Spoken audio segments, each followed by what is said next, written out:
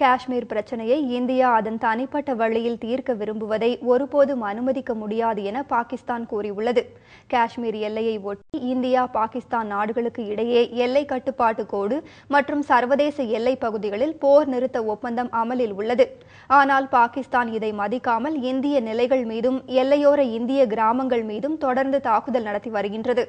இந்நிலையில் இஸ்லாமாபாத்தில் செய்தியாளர்களிடம் பேசிய பாகிஸ்தான் பிரதமருக்கான தேசிய பாதுகாப்பு மற்றும் வெள்ளி விவகாரத்துறை ஆலோசகர் சர்தாஜ் காஷ்மீர் பிரச்சனையை இந்தியா அதன் தனிப்பட்ட வழியில் தீர்க்க விரும்புவதாகவும் இதற்கு பாகிஸ்தான் அனுமதிக்காது என்றும் தெரிவித்தார்.